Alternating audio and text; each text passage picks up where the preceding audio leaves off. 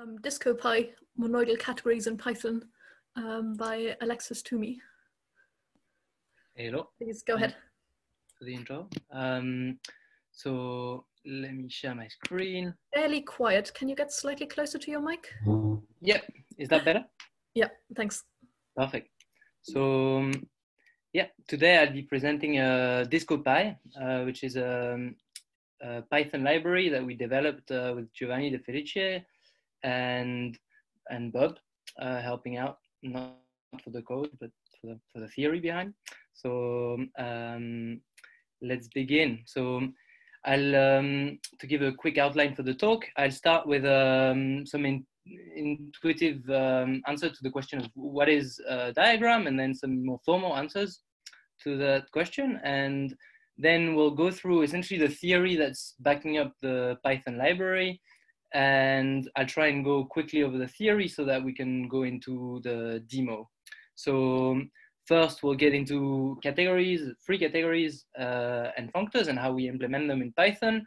Then pre-monoidal categories and how we draw and read diagrams. And then we'll look at how to get from pre-monoidal to monoidal categories with interchanges and normal forms for diagrams. And finally, I'll mention applications. Uh, so the main applications being natural language, grammar, and quantum circuits. So what is a diagram? So intuitively, a diagram is a way of describing systems and processes. And you can take it as an intuitive syntax for describing uh, processes like a cooking recipe or like a quantum protocol. And well, essentially, you don't necessarily need to know the maths behind it to use them. And that's the approach that, for example, Bob took in his uh, Picturing Quantum Processes book, where essentially you don't need to know how diagrams are defined, you just use them and they're really intuitive. So now how do you define them formally? Well, first answer, uh, first algebraic answer is that a, a diagram is a morphism in uh, the free monoidal category generated by some signature. So we have a signature sigma, which has a bunch of arrows, sigma one, a bunch of objects, sigma zero, and each arrow has a domain and a codomain, which are given by strings of objects. So the, the star here denotes the, the free monoid. So um, that's one answer. And essentially what it means in practice is that a string diagram can be defined as a term generated by tensor, composition, identities, quotiented by the laws of monoidal categories. So um, that's the easiest answer to give in a way, and it's um, a bit of a pain to work with.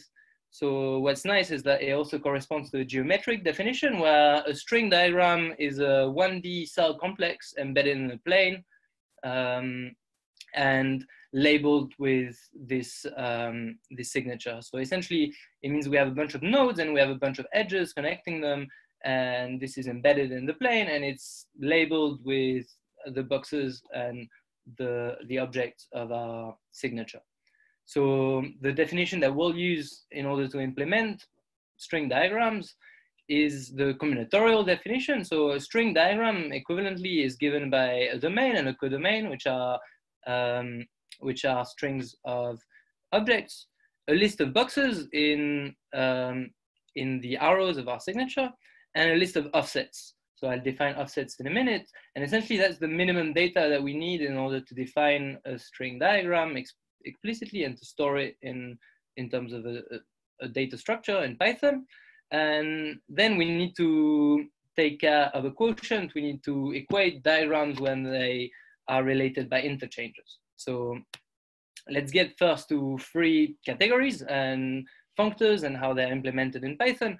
So just to fix some notation, uh, if we have a simple signature, so something that is a list, a set of arrows, a set of objects, and a pair of maps uh, that go from uh, the arrows to the objects, so the domain and the codomain. While the free category has uh, sigma zero as objects, and its arrows are given by lists, well, essentially by paths. So by lists such that the domain of each um, of each arrow is equal to the codomain of the previous one. And now we can define identity arrows as empty list composition by list concatenation. And essentially we get all the axioms of categories from the associativity and unitality of the, the free monoid of lists. So now um, a way of um, characterizing this um, free category uh, by its universal property is to say that when we have a functor that goes from free category into any category D, it's uniquely defined by a morphism of signature from sigma to the underlying signature of this category. So what it means is that for a functor uh, from the free category to D, we only need to define the image of each generator in sigma. And why is that important to us is it, it's a finite amount of data. So this functor gives the image an, an infinite, uh, potentially infinite set of, of paths, but it's only defined by its image on, on a signature, which can be finite. So how do we implement this in Python? Well, we've got a bunch of classes. We've got objects, which are only required to have a name, and two objects are equal if they have the same name. We have arrows, which have a domain and a codomain being objects, and a list of boxes. And what is a box? Well, it has a name as well, and it only has a domain and a codomain. So in order to define an arrow of a category, of a category in DisCoPy, you only need to first define a bunch of boxes and then compose them to give an arrow. And now if you want to define a functor, it's enough to give me ob and ar, so two Python dictionaries which map objects to objects and arrows to arrows. So in the default case, you just look at free functors, so functors from a free category to a free category, and that means that the mapping ob goes from ob object to and arrow goes from box to, to arrow. Uh, but in general, you can define the codomain of your functor to be any category implemented in Python, and that's what those two extra arguments, ob factory and ar factory, do for you, is they allow you to define any um, any codomain for your functor. So it could be the category of Python functions, for example. Um, so um, let's go to the next step where now we want to get into diagrams per se, not only arrows in a category, but arrows in a monoidal category. And as a middle step, we use pre-monoidal categories. So the, the first reason is that a pre, the free pre-monoidal category is easy to define as a free category. And the second reason is we can get monoidal categories, so proper string diagrams as a quotient of this pre-monoidal category as in a second step. So essentially we start by defining a pre-monoidal category as a category with a unital and associative functor which goes from C box C to C. And this box is called the funny monoidal product. And essentially it's the only other um, closed monoidal structure in cat, apart from the Cartesian product, and it's defined as a push out where you take the discrete categories of objects, C0 and D0, you inject them into the left and the right hand side, and you the push out gives you this funny monoidal product. And essentially what it means is it's also called the one and a half category uh, because it's a two category without interchanges. So um, let's look at what the free pre-monoidal category looks like. Well, if we're given a signature, a monoidal signature this time, which goes from sigma one to strings of sigma zero, um, the free pre-monoidal category is a free category where the signature is given by the layers. So what is a layer? It's given by um, a wire on the left, U, and a wire on the right, V, together with a box in the middle, this F. So now we take this to be a generator in a simple signature, and now we define a diagram to be an arrow of this free category. So a pre-monoidal diagram is just a list of layers. So now it's sufficient in order to define an arrow in this free pre-monoidal category, it's sufficient to give me the, the domain of the diagram and to give me the list of boxes in that diagram. And for each box, the number of wires passed to its left. So just the length of this U here. And that's the data that we're gonna use in order to define um, pre-monoidal diagrams. So now to define the free monoidal category, um, we take this free pre-monoidal category and we quotient it uh, with the interchanger relation, which says that whenever we have um, two boxes in our diagram which are not connected, so there's this wire V passing in the middle, we can interchange them and we can um, essentially yeah, go from um, the left to the right hand side of, of this relation.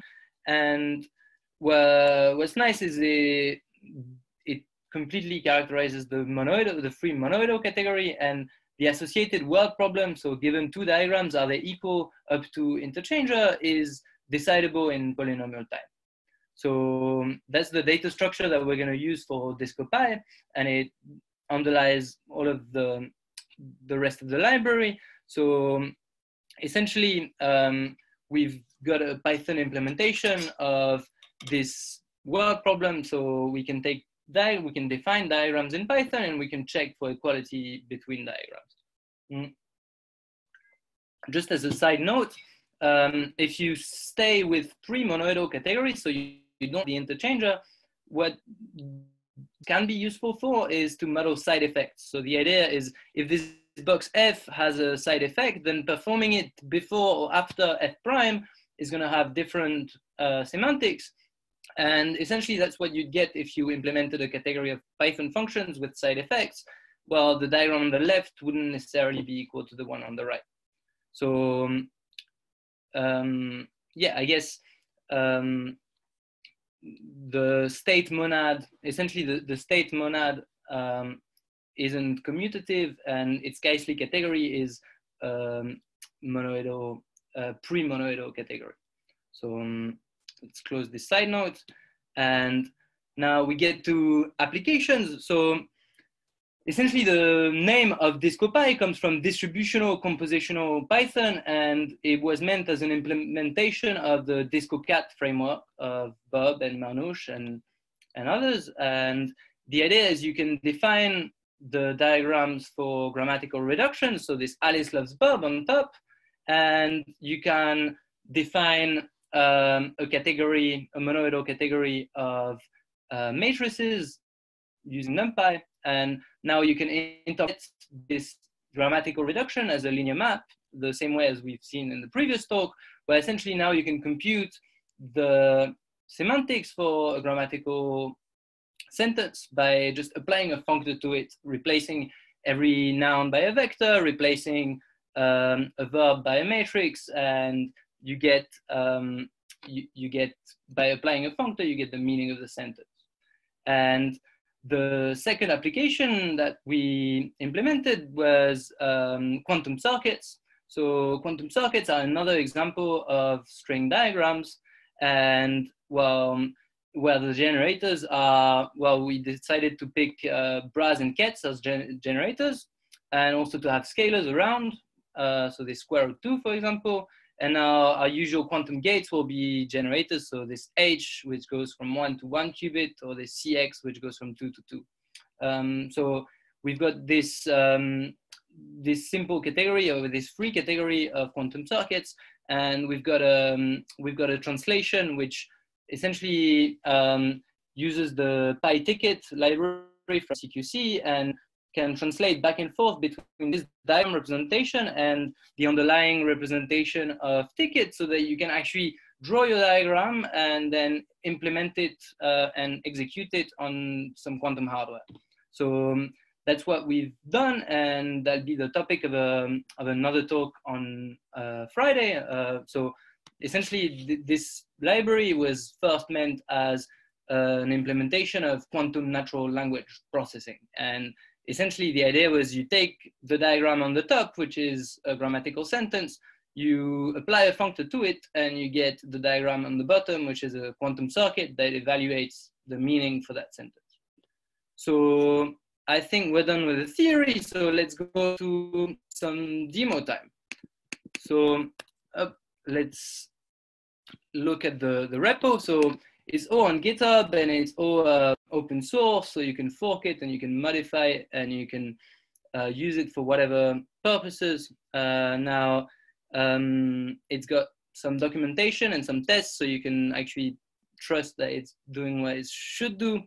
And well, it comes with a bunch of notebooks that uh, show the features of DisCoPy, uh, and we're adding more and more every day. So let's have um, let's have a look at maybe one uh, first simple notebook, which um, we inspired ourselves from uh, Pawel Sobocinski's uh, great blog, where he takes uh, cooking recipes uh, as diagrams, and he gives the, the recipe for crema di mascarpone. So let's look at the syntax for DisCoPy. Maybe I can zoom in even more. So you start by importing types, box, and identity from DisCoPy. And now you can define a bunch of types. So egg, white, and yolk are all types. Sugar and mascarpone are types as well. And well, you need a type for each uh, step in the middle of the process. So we need a yolky paste and a thick paste as part of our diagram as well. And we get this uh, crema mascarpone type, which will be the output of our cooking process. Now, you can define a bunch of boxes like crack, which uh, takes an egg and gives you white uh, tensored with yolk, and a couple of other steps. And now you can define your recipe as well, crack tensored with an identity of sugar and mascarpone on the right. Then you whisk, you heat, you stir, you fold, and you get the recipe for crema di mascarpone. So that's the recipe with one egg. What if we want the recipe for two eggs? Well, we can define a functor that sends one egg to two eggs and that sends crack to a diagram for cracking two eggs. So what does this look like? Well, you, you can define a, a, box for merge and a box for swap. So you notice here we're not doing symmetric monoidal categories, but you can define the, the symmetry as a regular box in uh, DisCoPy. And now cracking two eggs means you crack, you crack the other egg, you swap the white and the yolk, and then you merge them. So now we've got a box that goes from two eggs to white and yolk. And now if you define a functor which takes uh, an egg and outputs two eggs, uh, or just there's nothing, and you take uh, crack to crack two eggs, or you do nothing to the other, you do the identity to the other uh, generators, what you get is a functor which is going to send our recipe with one egg to a recipe with two eggs. So we've just replaced the box for crack by the box, the diagram for cracking two eggs, and we get a, a larger recipe. So that's the, the full-blown recipe for crema di mascarpone, and then you can draw a larger recipe for tiramisu uh, using this one and now um, let's get to something maybe uh, a little bit more exciting as a, another um, another application that we want to use. So I, I, didn't mention too much the, the algorithms backing up DisCoPy, but the, the one that took the most work was the drawing algorithm, uh, which takes the combinatorial description and actually draws the diagram on the plane because there's a lot of choices to make. And an interesting application that we want to work on, and I'll finish with that, is uh, going the other way around of how do you go from a picture of a diagram to its combinatorial description in terms of a list of boxes and a list of offsets for each box.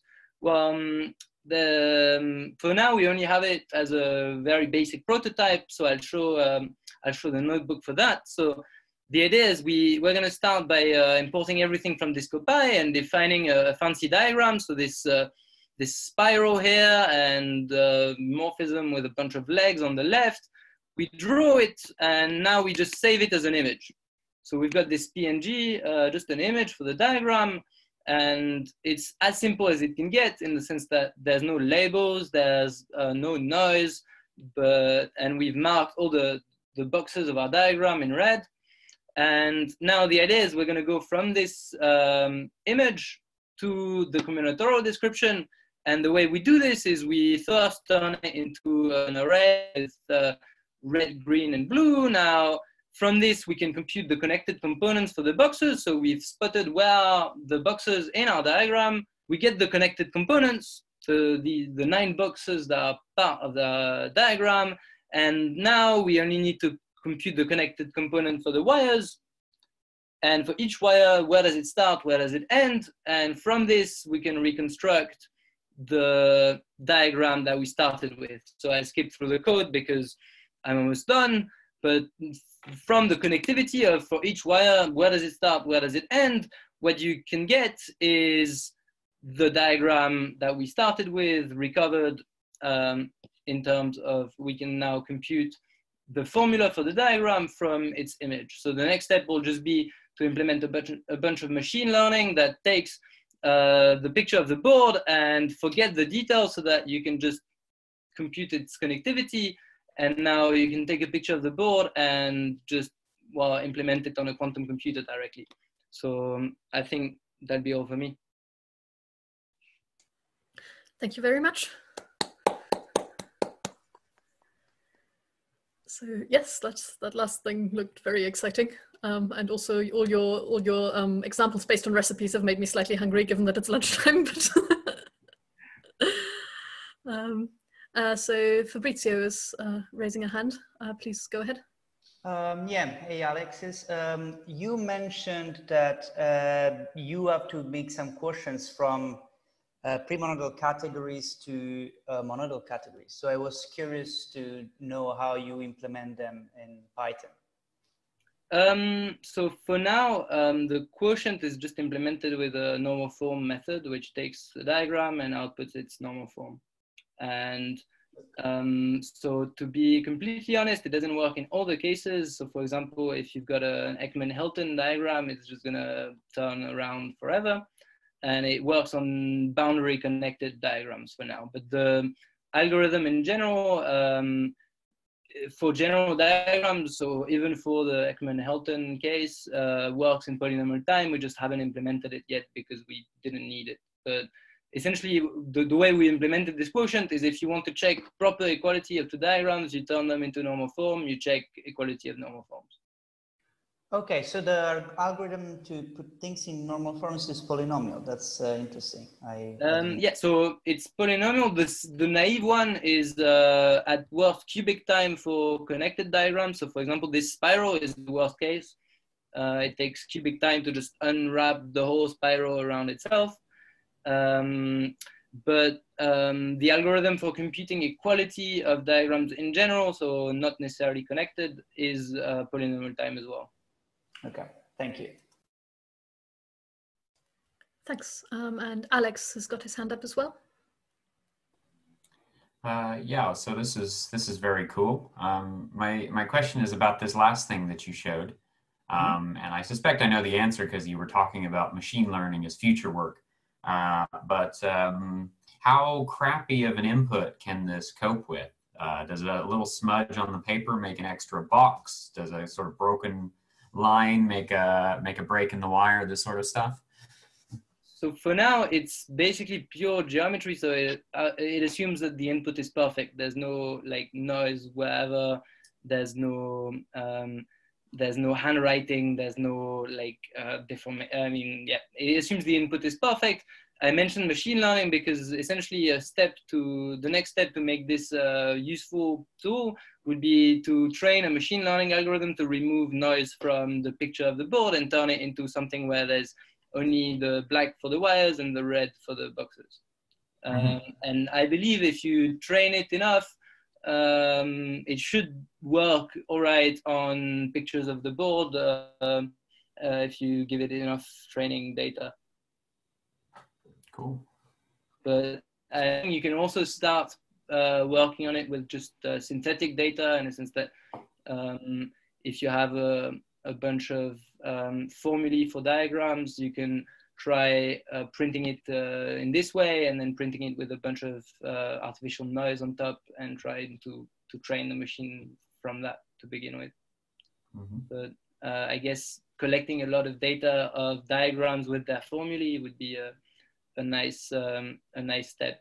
Um, I guess there's maybe things you could take off the shelf to to help as kind of a pre-pass to do some sort of shape recognition to turn your hand drawn boxes into these very nice perfect little red blobs and so on. Yeah, I mean, I guess the point with machine learning is you don't want to come up with the code for that by hand, uh, and you just want the machine to to learn that mapping. Um, I'm guessing that if you write the algorithm, so the, um, ge the geometric part of the algorithm uh, good enough, it should be tolerant to some threshold of noise. In a sense, you um, you can clip the image so that you remove um, things that are not red enough or that are not black enough to be a wire. Um, okay, um, thank you. Um, I think we're now um, having five minutes of break before the next talk. Um, so yeah, uh, everyone uh, remember to take your hands down after your question, um, unless you have any more questions, just so we don't get confused. And um, yes, thank you very much again.